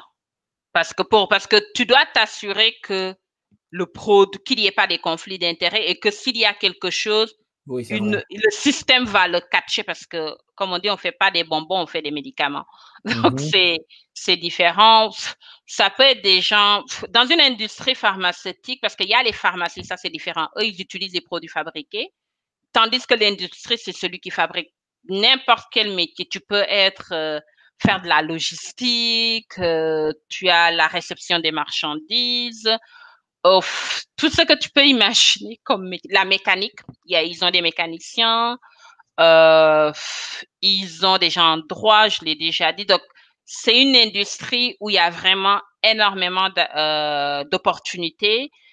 Le plus souvent, ce qu'ils vont te demander, c'est d'avoir une expérience en pharmaceutique, mais si tu n'as pas l'expérience, tu peux juste aller prendre une petite formation, certificat. Dans le cas du Québec, c'est Gérard Godin qui est spécialisé dans ça et tu prends une petite formation. Moi, j'en ai eu hein, des gens qui avaient des masters, des, des bacs et autres qui n'arrivaient pas à avoir du travail. Ils sont juste allés faire cette formation et puis ils ont eu du travail dans le domaine. Gérard Godin, tu pourras mettre le lien, le cégep Gérard Godin qui est spécialisé dans ça. Si tu veux aller plus aller faire des études universitaires, Université de Montréal ou autre. Oh, parce que ça, c'est ça, c'est un DAP, c'est ça? Oui, DEP. Je crois que c'est un DEP. DEP, moi, j'ai. Gérard, ok, Gérard Godin, c'est un cégep. Ok. Oui, c'est un cégep. donc, ils peuvent avoir vraiment de petites formations. Tu n'es pas obligé de faire 3-4 ans d'études pour, euh, euh, pour ça. Euh, ils en ont plusieurs hein, dans le pharmatique. Ça, c'est juste un. Ça, c'est pour les gens qui veulent faire de la production. Ils en ont en, en, en qualité. Ils ont mmh. vraiment énormément de, de, de formation dans le, dans le domaine pharmaceutique, des formations courtes. Sinon, ce serait mhm. d'aller à l'université. Wow. Et c'est ça, c'est ça aussi l'avantage avec le système où, où tu es capable de prendre des, des formations professionnelles et rentrer exactement dans le monde professionnel et, et, fait, commencer à faire ton, comment dit, ton chemin et, créer ton réseau éventuellement des années plus tard être à une certaine position. Donc là. Et ce qui est bon dans cette industrie, c'est que contrairement à d'autres industries que tu as entre guillemets la menace des jeunes, le hmm. pharmaceutique, c'est pas le cas. Plus tu dures dans l'industrie, plus tu as de la valeur. Euh, as comme ton, ton profil a de la valeur. Hmm. Tandis que pour d'autres industries, ils vont aller chercher des jeunes parce qu'ils connaissent plus la technologie. Non, parce que le pharmaceutique, si j'arrive avec mon expérience versus quelqu'un qui a 20 ans, ça va aller pour celui de 20 ans. Tout à fait. C'est vraiment Donc, tu n'as pas cette peur de, te, de, de, perdre ton travail, de te faire remplacer par une autre personne et tout. Et tu peux, si tu négocier, puis tu as vraiment beaucoup d'opportunités de croissance, ou si ça te va pas, tu peux toujours aller dans une autre industrie, dans une autre entreprise, parce que entre nous, c'est la chasse. Quand tu veux hmm. débaucher, tu vas appeler les employés de tes concurrents. Mais c'est ça, parce que vous êtes, vous êtes tellement si peu. Vous êtes si peu qui, qui, euh, qui, comment on dit, qui fournissent aussi le travail de qualité. Donc, c'est comme, dès que tu, tu, travailles quelque part, tout le monde te regarde. C'est comme, c'est quand est-ce que tu viens? On, te, on, te, on te met même des petits chèques à côté. C'est quand tu viens là? Oui. Ça, c'est beau, ça. C'est beau, donc, ça. Donc, les gens qui, comme si tu as une, une formation scientifique et que tu ne trouves pas de travail, bah, parce que tu es arrivé, je parle du Québec, là, euh, bah, faire peut-être une petite formation. Des fois, ils font des portes ouvertes, ils vont dans les universités pour recruter du monde. Tu peux y aller, va sur leur site et puis euh, mmh euh, tu, tu, tu, vas aller aux événements. S'il te faut une petite formation, fais-le. Le plus important, c'est rentrer dans l'industrie parce que quand tu rentres à l'intérieur, tu vas avoir toutes les opportunités qui s'ouvrent à toi. Beautiful, beautiful. Wow, merci beaucoup à Kylian. Nous sommes vraiment, nous, nous tirons quasiment presque à la fin, OK? Donc là, je vais répondre juste à ta deuxième question. Je vais, être très rapide, comme le processus pour lancer une, une marque cosmétique. Oui, oui, c'est vrai, c'est vrai. Ouais. Un, c'est de connaître où est-ce que tu veux vendre et où est-ce que tu veux produire, donc la réglementation. Deuxième chose, c'est de connaître c'est qui ta clientèle cible. Oh, ça, c'est, je le répète, on ne peut pas vendre sans savoir à qui on vend. Une fois que vous connaissez votre clientèle cible, là, vous faites votre développement de produits et votre chimiste ou le laboratoire avec qui vous allez travailler va s'occuper de deux choses, surtout les produits qui contiennent de l'eau, de s'assurer que le produit est stable, pas de déphasement, que ça change de couleur et autres, et la conservation, c'est-à-dire que le, le, produit ne pourrisse pas. Je déconseille aux gens de mettre sur le marché, de commencer à vendre un produit qui contient de l'eau sans le faire tester au laboratoire. Ça, c'est, mmh. je le vois beaucoup. Oui, on n'aime pas les conservateurs, mais les conservateurs, c'est pas pour votre bon vouloir, c'est pour protéger les gens. C'est pour te protéger parce que quand tu développes, c'est pour ta famille et ensuite pour les autres. Donc, tu vas le laisser sur toi. Donc, si le produit est dangereux, c'est toi qui vas payer en premier. Et une fois que mmh. tes produits sont faits, c'est de te focaliser sur le marketing et la vente. Mais la réglementation, c'est super, super important. Si, juste un dernier conseil pour les marques, tu peux pas juste parce qu'un client en Europe veut acheter tes produits, lui vendre. Non. La mmh. réglementation en Europe est totalement différente. Il faut que tu t'assures d'être conforme à la réglementation européenne, dont notamment de d'enregistrer ton produit sur la base de données euh, sur la plateforme européenne qui gère notamment les produits cosmétiques. Donc, je vais aller très vite dessus. Merci beaucoup. Merci, merci. Donc, toi, alors, quand tu travailles avec des produits cosmétiques, euh, donc, si jamais tu travailles avec un produit cosmétique euh, au Canada, tu te, tu te bases sur la réglementation ici au Canada. Oui. Mais si jamais il y a un client qui veut vendre le même produit, mais qui veut le vendre en France, et disons euh, en Angleterre, est-ce que c'est toi qui prends la relève de ce laboratoire ou il y a des laboratoires euh, avec qui tu travailles là-bas où il doit prendre ses laboratoires ou il, ou elle doit prendre ses laboratoires dans ces différents pays? En fait, si une marque arrive travailler avec moi, la première question, c'est tu vends où déjà? Hmm. Si c'est au Canada et aux États-Unis, c'est quasiment la, bonne, la, la, la bonne réglementation. Si c'est ici, je vais travailler avec lui pour qu'il soit conforme au Canada et ensuite je vais le recommander pour qu'il travaille avec un laboratoire en Europe. Pourquoi? Parce qu'en Europe, si tu vends des produits en Europe, tu dois avoir ce qu'on appelle le responsable de ton produit, au fait. C'est qui tu, tu nommes comme responsable de ton produit et cette personne doit résider dans l'Union européenne. Donc, d'où mmh le fait, au lieu de travailler pour la partie Europe, de travailler avec moi pour le Canada, l'Amérique du Nord, je vais te dire, OK, fais la démarche européenne pour les gens qui sont en Europe. La mmh majorité des clients, quand je, on n'a pas dit 100% des clients, quand j'explique c'est quoi la réglementation ici versus l'Europe, ils vont décider de rester ici. Au début, parce que moi, je dis toujours, on a un marché qui s'appelle les US. Je vois pas pourquoi tu te fatigues pour l'Europe. Commence par là, et puis quand tu auras des millions et des millions, là, tu penseras à aller en Europe.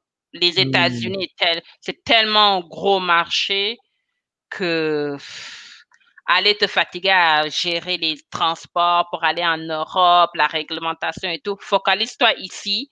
Deuxième marché, ce sont les États-Unis. Mm-hmm. Prenons note, hein? Prenons note, prenons note. Wow. Bon, merci beaucoup, merci beaucoup pour tes réponses. Euh, on n'a pas pas encore taclé le, le volet euh, serial entrepreneur, serial euh, business owner. mais tu fais beaucoup de choses, hein? Toi, tu fais beaucoup de choses. Tu, beaucoup de compagnies que tu, que tu, que tu, hein? Ah, tu travailles, qui, ont, qui sont dans différents domaines, au fait. Oui. Et, et y a l'un des domaines, tu me parlais tout à l'heure, euh, c'est l'intelligence artificielle aussi. Oui. Il y a aussi la chimie dans l'intelligence artificielle. Bah, les deux sont, vont, sont, pas comme aussi éloignés que ça. Je mmh suis dans le domaine de la chimie. On innove, mais on garde encore comme pour moi, l'intelligence artificielle, c'est pour faciliter les choses. Hmm, vas-y, développe un peu. c'est pour faciliter les choses. Donc, par exemple, là, je suis en train de travailler avec une entreprise. Donc, moi, je m'occupe, euh, ils, sont vraiment en recherche et développement. Et moi, je m'occupe de la partie chimie.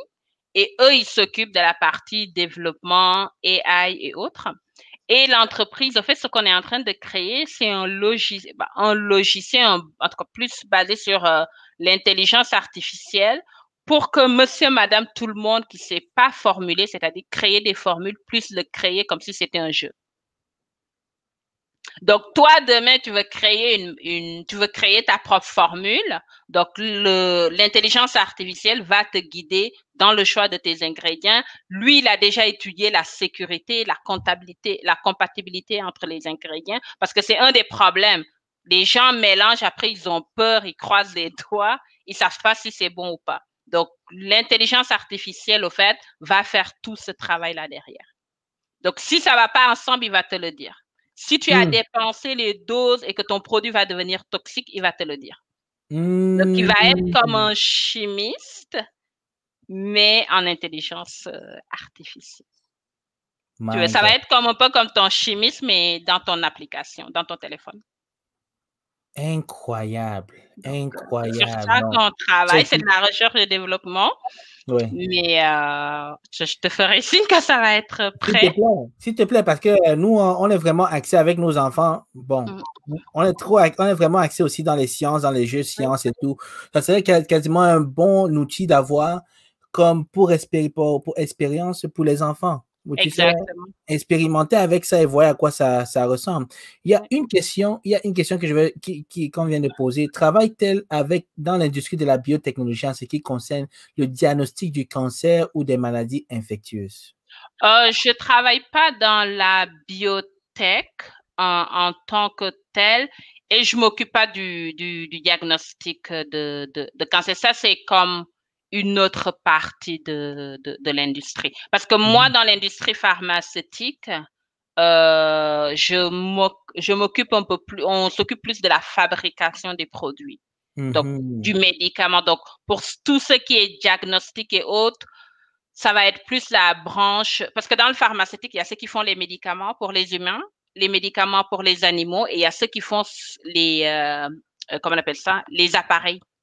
Oui, oui, oui. Donc, je ne suis pas dans cette, euh, dans cette, euh, cette section d'appareil. Mmh je ne le fais pas. J'ai fait les animaux, j'ai fait euh, les humains, mais je ne fais pas de. Pas d'appareil. Oui, parce que, la personne demandait les incubateurs de biotech. Est-ce qu'elle peut préciser si elle est ici ou. ou elle est aux États-Unis. ok, elle est aux États-Unis. Oui, la personne aux États-Unis. Elle est. Hmm. J'en connais plus au Québec, plus que, plus que ça. Euh, ce que je dirais, tu peux juste montrer ma page et pourra me contacter. Et puis, je pourrai lui revenir dessus. Oui, tout à fait, tout à fait. Cette personne, euh, c'est Docteur Fleury. Il a eu deux épisodes. Il a deux épisodes sur notre show et il est docteur en, biotechnologie. Donc, il est sur LinkedIn aussi. Donc, je ne sais pas si tu es encore actif. oui, tu peux m'échanger, nous mettre en contact. Tout et à fait. comme ça, je pourrais lui revenir. Ça va être plus simple pour lui si tu le connais. Mets-nous en contact et puis euh, je pourrais voir un peu plus ce que ce qu'il recherche comme information. Pas de problème. Je vais lui mettre en contact ici, euh, sur. Aux euh, États-Unis, il y a beaucoup de, il y a beaucoup de plus d'incubateurs que nous ici. Mais oui, lui, il est dans la recherche. Il est dans la recherche aussi, donc. Donc, euh, c'est ça, c'est votre domaine, les, les, les, scientifiques, là. Donc, OK. Bon. Il nous reste quelques minutes. Maintenant, on va clôturer, on va clôturer les, le, ce bel épisode.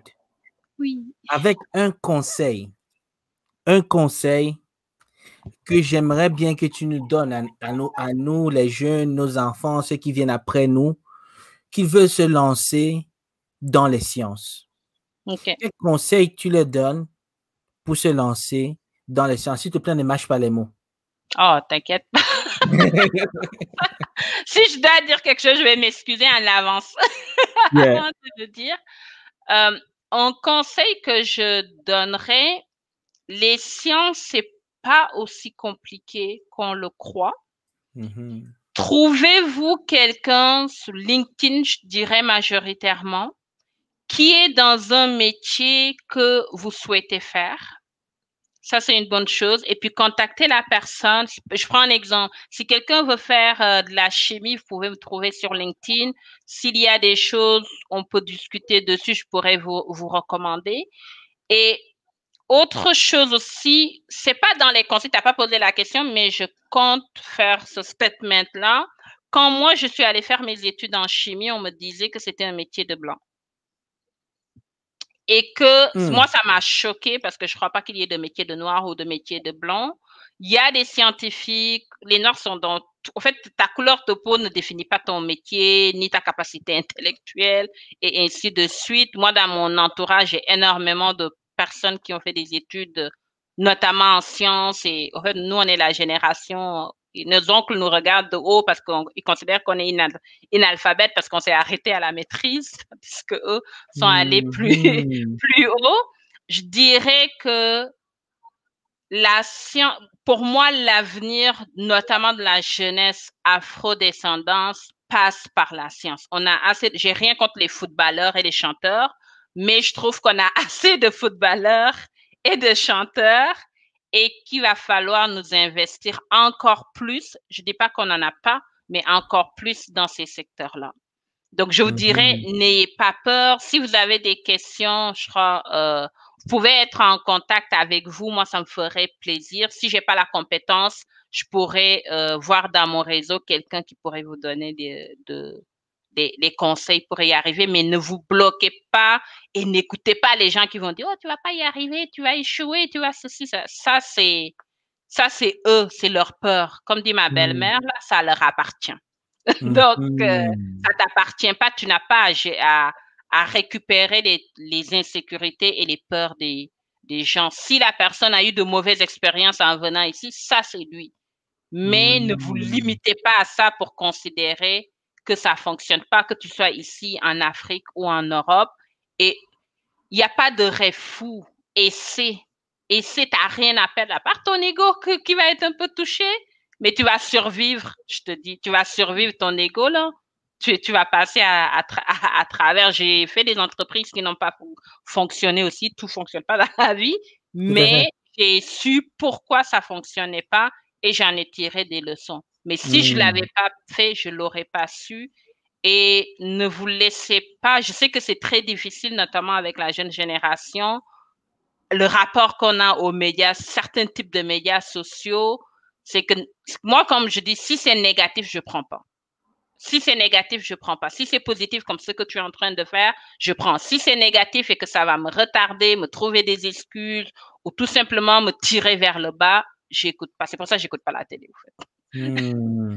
Elle n'écoute pas la télé aussi, hein? Donc, oh non, lis des livres. Lis des livres. Ok, ok. Pourquoi lis des livres? Pourquoi? Lire des livres va te faire voir. Moi, pour moi, les livres, c'est le meilleur, la meilleure façon de voyager. Ça va te faire voir que ton problème, tu n'es pas le seul à l'avoir. Mhm. Il y a des gens qui l'ont eu et qui sont passés à travers et que le monde ne s'arrête pas aux quatre murs que tu vois, à ton quartier, à ton village ou à ton pays. Et je crois que c'est le pouvoir des livres selon, selon moi. J'ai lu des livres mexicains quand j'étais jeune qui m'ont énormément marqué, des livres d'autres pays. Lisez pour, pour, pour moi, en tant que notre génération, on a une, une responsabilité, Hmm. De, pas de ne pas décevoir nos parents, mais que tous les sacrifices que nos parents ont fait, que ça soit pour rien. Pour Hmm. moi, c'est quelque chose qu'on doit de plus en plus imprégner aux jeunes générations afro-descendants. Parce que j'ai des amis qui sont, par exemple, des Asiatiques, d'autres communautés. Il y a comme cette question que tu peux pas faire moins que tes parents. Hmm. Et quand tu es conscient de ça dès le début, oui, je vais pas dire que la vie va être facile, mais cette responsabilité que tu as, c'est pas une pression, c'est une responsabilité de ne pas faire moins que tes parents. Même si tu as des difficultés, tu vas avancer parce que tu te donnes cette responsabilité-là. Mhm. Et je trouve que c'est important que les afrodescendants gardent cette question-là et que c'est comme ça qu'on va avancer. Parce que si on veut toujours faire mieux que nos parents, on va forcément avancer, on va pas reculer. Tout à fait. Donc, euh, et c'est plus. Donc, c'est ce que je dirais. Kylian Diata. Tu sais, je vais prendre une seconde. Ici, on fait la talakou, OK? Je vais faire un talakou propre maintenant. right? propre dans son sens. Notre fondatrice, Akilian Diata. Pour ceux qui sont intéressés à, à- à être connectés avec Akilian, voici sa compagnie, le groupe Formula. OK? Groupe Formula, j'ai mis le, le site dans la barre de recherche. Visitez son site www.https groupeformula.com, OK? Et là, elle vous propose aussi des, pour ceux qui aimeraient être euh, formés, formés dans ce domaine, les expériences, parce que c'est que toi, tu étais vraiment dans l'éducation, dans l'éducation à un certain Oui. moment, tu fais, tu fais beaucoup de bénévolat, Oui. tu donnes ton temps libre, le temps même que tu n'as même pas, je ne sais pas comment tu trouves le temps d'abord pour commencer, le temps que tu n'as pas pour vraiment aider des compagnies euh, gratuitement, euh, souvent à, à se lancer. F- Est-ce que, tu, est-ce que tu, peux, tu peux nous parler de ça rapidement? Euh, chaque année, je prends une, une à deux entreprises. Euh, pour l'instant, c'est unique. En tout cas, je sais pas si c'est le hasard qui fait ça, c'est uniquement des entreprises d'afro-descendantes. Mhm. Euh, et au fait, c'est vraiment basé. J'ai pas de, je fais pas de concours autres. C'est des fois j'ai des clientes qui vont me contacter, qui n'ont pas de moyens, mais que je vois que la personne veut réussir parce que un Mhm. projet c'est une personne. hein. C'est la personne qui porte le projet. Et donc il y a des une ou deux deux entreprises que j'accompagne euh, bénévolement. On se voit, on se parle une à deux fois par semaine et que je les aide à lancer leur entreprise. Moi, j'ai toujours fait du bénévolat depuis euh, depuis enfance et je vois pas ma vie sans bénévolat. Euh, Mhm. donc euh, ça peut être dans les sciences, euh, ça, ça peut être notamment dans mon cas dans le cas de la création de produits et autres. Donc, euh, Mhm. mais pour cette année, je suis euh, je suis complète euh, parce Oui. que j'ai déjà trouvé mes, euh, mes, mes entreprises. Et juste un conseil pour notamment ceux qui sont au Québec et autres, ou même ceux qui sont en Afrique, euh, si tu n'arrives pas à trouver du travail, quand tu es étudiante, profite, s'il te le faut, de prendre une demi-journée pour faire du bénévolat dans une entreprise, dans une association, parce que ça aide aussi pour ton CV. Tout à Donc, fait. ça, le travail, c'est pas seulement de travailler dans une grosse institut et autres. Allez voir des entreprises et proposez-leur des, euh, comment on appelle ça, des services de bénévoles, même si c'est deux, trois heures par semaine. Vous allez trouver des gens qui viennent de tous les milieux. Vous allez vous faire un réseau et vous allez avoir de l'expérience. Pour moi, c'est comme tout, tout béné. J'ai des amis que je connais depuis dix ans. C'est parce qu'on s'est connus via le bénévolat. Bénévolat. Le bénévolat est très important. Écoutez bien, le bénévolat est très important. Donc là, euh, le groupe Formula nous propose no- notre expertise, nos formations et services pour les entrepreneurs et artisans. Formation en sciences cosmétiques. Je veux, je veux apprendre à créer mes, cos- mes cosmétiques. Elle le fait, elle le donne la formation. Donc, s'il vous plaît, allez visiter le groupe formula.com. On a besoin de plus de chimistes. On a besoin de plus de chimistes. Écoutez ça, on a besoin de plus de personnes qui vont créer euh, des marques disons, mais pour ceux même qui veulent créer même des marques africaines seulement, on a besoin de plus de vous qui créent des marques africaines parce qu'il y a beaucoup d'entre nous dans ce monde. On ne peut pas se limiter à un, à deux, à trois produits. On a besoin de la concurrence pour améliorer même nos marchés. On a besoin de la concurrence, on a besoin même des scientifiques qui se spécialisent dans ces domaines. La, chimie, c'est partout. C'est maintenant, je me je me rends compte que j'ai un extincteur en bas. J'ai un extincteur en bas avec des propriétés et le, comment on dit, les données, tu sais, propriétés. C'est tout, c'est tout de la chimie. C'est de la chimie. C'est tout de la je chimie. faisais ça avant euh, la chimie. Pendant mes études, on, on travaillait sur les explosions. Il y a d'autres qui sont devenus des gens qui travaillent dans les armes à feu, d'autres travaillent dans tout ce qui est euh, feu d'artifice ou chez les mmh. pompiers aussi. Tout à fait, tout à fait. Même les, détecteurs de gaz. Exactement. C'est la chimie. Mais vous êtes partout. C'est là que je te parle maintenant, je me rends compte que vous êtes partout. Partout, partout, partout. Création de formules. Je veux faire vérifier mes formules par un chimiste. Elle est devant vous. Elle est chimiste euh, vérification de, et test de laboratoire, je vais faire vérifier et tester mes formules. Donc, vous n'allez plus aller dans votre cuisine, mélanger vos formules et croiser vos doigts que ça marche. Si vous voulez vendre sur le marché américain, le marché, au fait, d'une population de quasiment 330 millions plus 30 millions, quasiment presque 360, 370 millions d'habitants. Elle, peut donc, honnêtement, considérez. Si vous avez une marque de cosmétiques, ne vous limitez plus à je n'ai pas un laboratoire, je ne connais personne. Si vous voulez vous lancer sur ce marché, consultez-la et contactez-la. Consulting en chimie cosmétique, je veux des réponses à mes questions. Si vous avez déjà un produit et vous, vous avez besoin du consulting pour pouvoir améliorer votre produit, même avoir même les données dans le, dans, sur le plan de qualité, de contrôle. Et comme tu as dit, tu as dit qualité, contrôle et attends, attends, attends, conformité. Ah. Qualité, contrôle, conformité. Hein? Et elle est capable de vous aider dans ce domaine. Donc, vraiment, euh, à, Kylian, tu es, comme on dit, une perle. Tu es une richesse pour, la, pour, pour, pour, pour, cette communauté. Aussi, tu es un exemple et un modèle pour la future génération. C'est pour ça que moi, je sais, ma fille a 5 ans, elle mm-hmm. regarde chaque épisode. Et quand elle a vu la photo, elle a dit Waouh, cette madame est très belle. et c'est ce qu'on a dit en retour cette hein? madame est une chimiste. Et là, c'est ça qui crée la question. C'est qui une chimiste? C'est quoi une chimiste? Là, on peut aller maintenant sur YouTube, on peut faire des recherches, c'est quoi une chimiste? On peut même encore aller plus loin.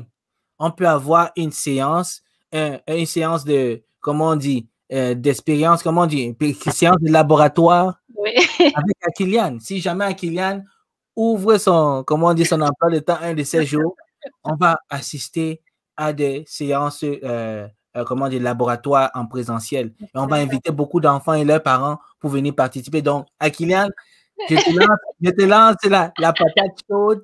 Si jamais tu veux faire un petit, un petit, euh, comment on dit? Une petite séance.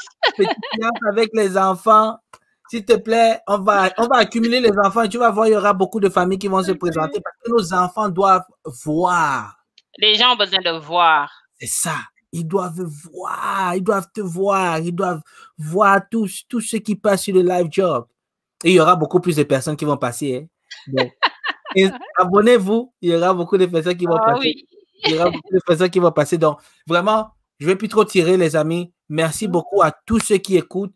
Merci, à tous ceux qui sont là. Merci à, à Kylian qui est là, honnêtement. Grand merci. Jared Jeff. C'est ça, continue. Oui. Ah oui, Jared Jeff. Donc, euh, pour tous ceux qui étaient là, merci beaucoup à tous ceux qui ont, qui ont regardé l'émission. Merci à Kylian, très inspirant. Merci de live job pour cette émission. Merci encore pour ce live. Euh, euh, Henri, Henri Vincent est passé à de cela deux semaines. Il est, il est, lui ici, il, est, il fait son doctorat en, comment on dit, financial, uh, financial Information System. Ah, ça c'est bon ça. I know. Finally, Ils ont guy, de l'argent. this guy is a brain. This guy, this guy is a machine. And, and, mais lui, il fait son doctorat présentement. Il est en, en, en, en Afrique du Sud. Très oh. intéressant. C'est très, très bon parcours. Vraiment, beaucoup de courage à toi, Henri. Et tous ceux qui sont intéressés à passer sur l'émission, je vous invite. Venez partager votre parcours avec les jeunes. Parce que le plus nous partageons notre parcours, le plus les jeunes auront de, de, leçons, de, sagesse et ils seront plus loin, plus vite que mm. nous. Donc, merci à tous ceux qui ont écouté. À Kylian, on va, euh, on va te dire merci et je pense que j'ai laissé la patate chaude entre tes mains. je te reviendrai pour la patate chaude. Everyone. Bonne soirée à vous et on est ensemble.